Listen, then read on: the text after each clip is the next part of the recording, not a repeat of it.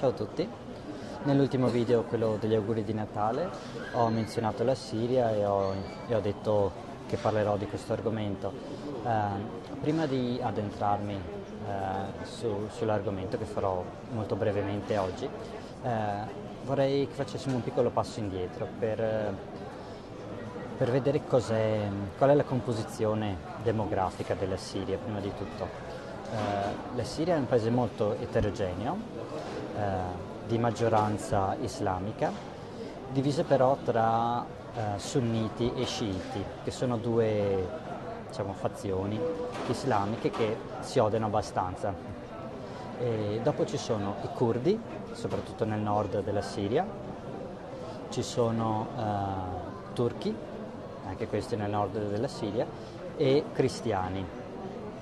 Uh, una, ho letto su Wikipedia, mi pare il 13% della popolazione sono cristiani. Uh, perché vi dico questo? Per, uh, beh, per farvi capire che è, una, è, un calderone, un possibile calderone, nel senso è una situazione molto molto complessa.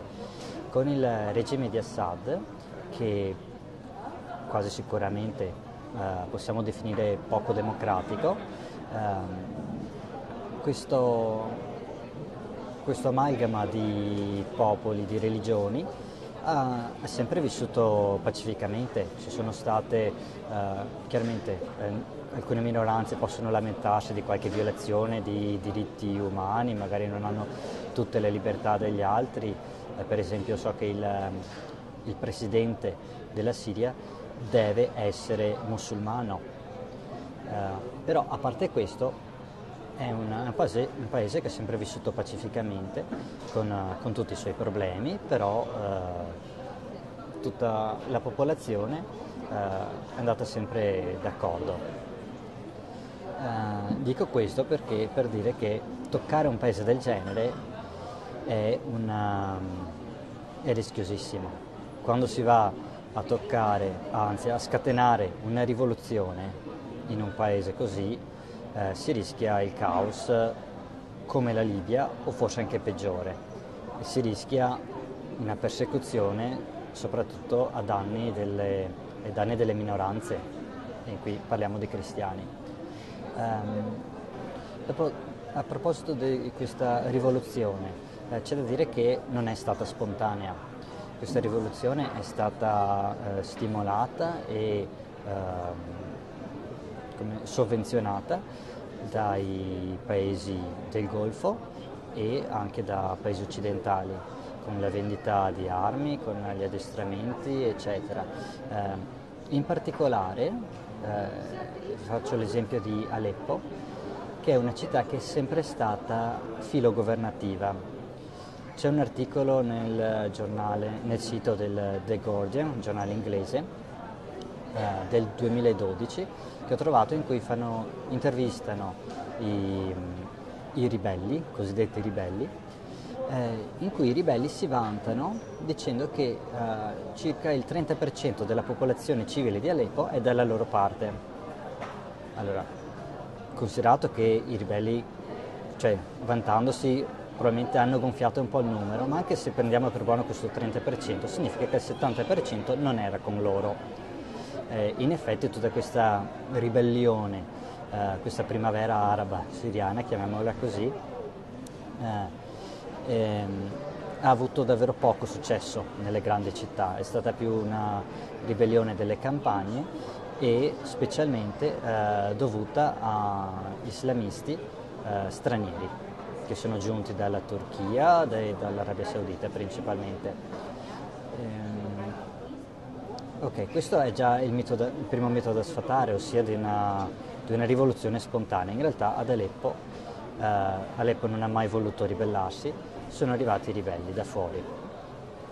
Poi questi ribelli che noi chiamiamo moderati, tanto moderati non sono.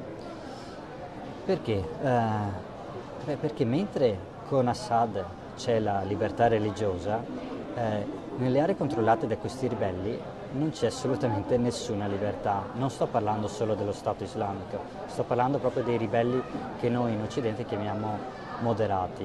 Uh, in, queste, in, queste, zone uh, questi ribelli uh, praticano la, la legge islamica. Eh, se notate, eh, non ci sono nemmeno giornalisti occidentali in queste aree, a meno che non siano essi stessi musulmani.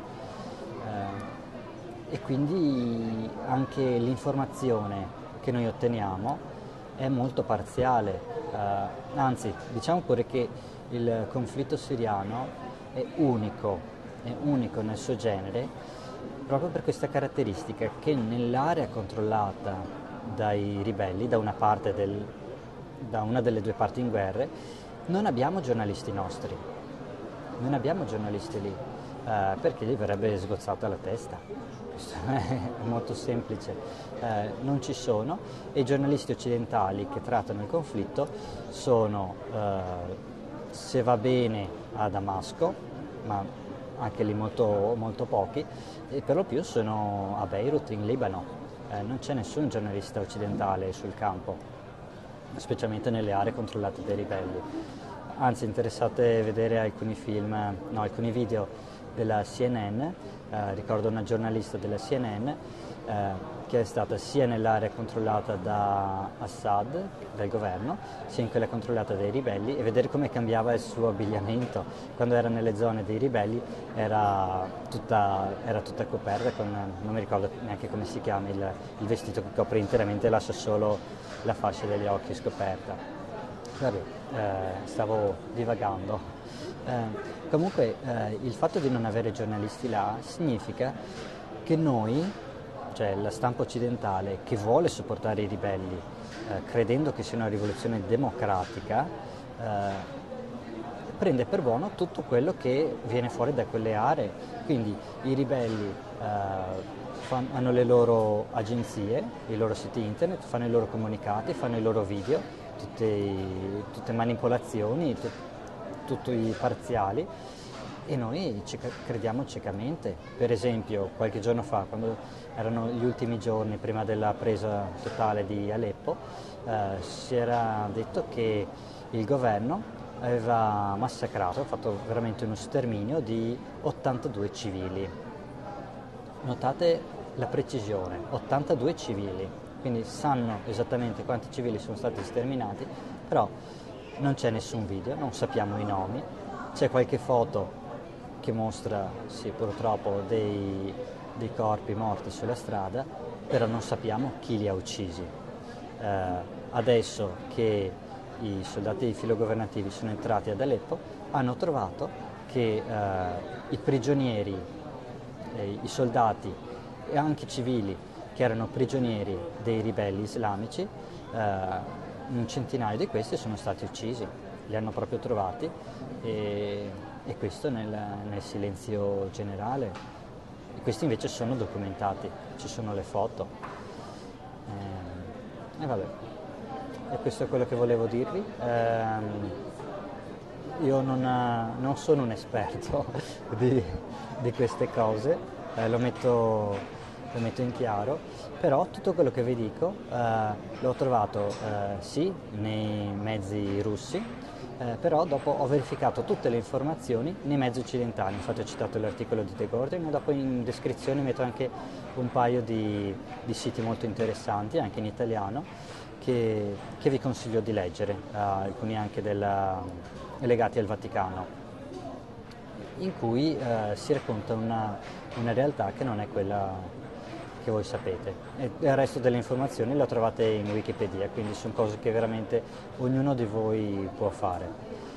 E le chiudo qua, se avete voglia andate a vedervi e ecco, vi dico questo per così iniziate a mettere in dubbio quello che vi viene detto e nei prossimi giorni parlerò, vi darò altri esempi di propaganda occidentale, magari lasciando da parte la Siria per un po' e lasciamo che si, si rimettano in piedi.